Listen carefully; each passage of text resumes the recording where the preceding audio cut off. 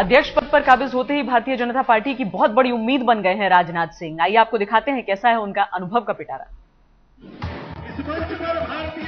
राजनाथ सिंह, यानी बीजेपी और संघ के बीच रिश्तों की अटूट कड़ी। राजनाथ सिंह, यानी गठबंधन की सियासत के माहिर खिलाड़ी। राजनाथ सिंह, यानी बेदाग छवि शायद इन्हीं खूबियों की वजह से राजनाथ भारतीय जनता पार्टी के कद्दावर नेताओं में शुमार रहे हैं। उत्तर प्रदेश के चंदौली ज़िले में जन्मे बासठ साल के राजनाथ सिंह की उम्र महज तेरह साल की थी, जब उन्होंने राष्ट्रीय स्वयंसेवक संघ का दामन थामा। पढ़ाई लिखाई के बाद वो भौतिकी के लेक्चरर बने, लेकिन संघ के साथ रिश्ता जोड़े रखा। धीरे धीरे राजनाथ का सियासी कद बढ़ता गया। 1975 में राजनाथ सिंह मिर्जापुर में भारतीय जनसंघ के जिला अध्यक्ष बने और 1977 में पहली बार यूपी विधानसभा के सदस्य चुने गए। इसके बाद उन्होंने बीजेपी के यूथ विंग यानी भारतीय जनता युवा मोर्चा की सियासत शुरू की और उन्नीस सौ चौरासी में यूपी में युवा मोर्चा के अध्यक्ष बने। 1988 में राजनाथ सिंह भारतीय जनता युवा मोर्चा के राष्ट्रीय अध्यक्ष चुने गए। धीरे धीरे राजनाथ सिंह का रुतबा बढ़ता गया, कद बढ़ता गया। उत्तर प्रदेश की सियासत में राजनाथ सिंह एक जाना माना नाम बन गए। उन्नीस सौ इक्यानवे में जब उत्तर प्रदेश में पहली बार बीजेपी की सरकार बनी तो उन्हें शिक्षा मंत्रालय की ज़िम्मेदारी सौंपी गई। बतौर शिक्षा मंत्री राजनाथ ने इतिहास की किताबों का सिलेबस बदलवा दिया। साथ ही राजनाथ ने वैदिक गणित को स्कूली किताबों में जगह दी। उन्नीस सौ चौरानवे में राजनाथ पहली बार राज्यसभा के सांसद बने। इसके बाद राजनाथ सिंह ने राज्य और केंद्र दोनों की सियासत में अहम भूमिका निभाई।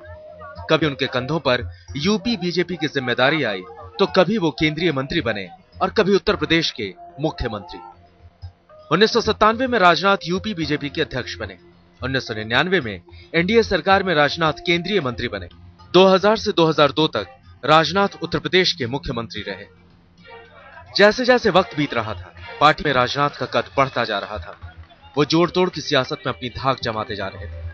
अब पारी थी सबसे बड़ी ज़िम्मेदारी। थी दिसंबर 2005 में लाल कृष्ण आडवाणी के इस्तीफे के बाद राजनाथ सिंह बीजेपी के राष्ट्रीय अध्यक्ष बने। नवंबर 2006 में उन्हें फिर से पार्टी की कमान मिली और 2009 तक वो बीजेपी के अध्यक्ष रहे। राजनाथ जब अध्यक्ष बने थे, एनडीए सत्ता से बाहर हो चुकी थी और पार्टी में हताशा का माहौल था। उन्होंने पार्टी में हिंदुत्व एजेंडे की बदौलत संजीवनी डालने का ऐलान किया, लेकिन मई 2006 में पाँच राज्यों में पार्टी का प्रदर्शन निराशाजनक रहा।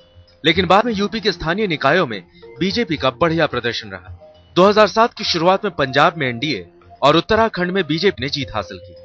उसी साल गुजरात में भी बीजेपी को शानदार जीत हासिल हुई। 2008 में बीजेपी पहली बार दक्षिण में सत्ता में आई। कर्नाटक में बीजेपी की सरकार बनी। इसके बाद मध्य प्रदेश और छत्तीसगढ़ में बीजेपी की जीत ने राजनाथ सिंह को सियासी मजबूती दी। राजनाथ सिंह में कई खूबियाँ हैं तो कई खामियाँ भी। आलोचक मानते हैं कि राजनाथ सिंह के कार्यकाल के दौरान पार्टी के भीतर की सियासत चरम पर रही और बड़े नेताओं के बीच रस्साकशी चलती रही, जिसका खामियाजा पार्टी को 2009 के चुनाव में भी भुगतना पड़ा। बावजूद इसके राजनाथ सिंह का विवादों से कभी नाता नहीं रहा, वो साफ़ छवि के माने जाते हैं, जिसका फ़ायदा उन्हें मिलता रहा है। आज तक ब्यूरो।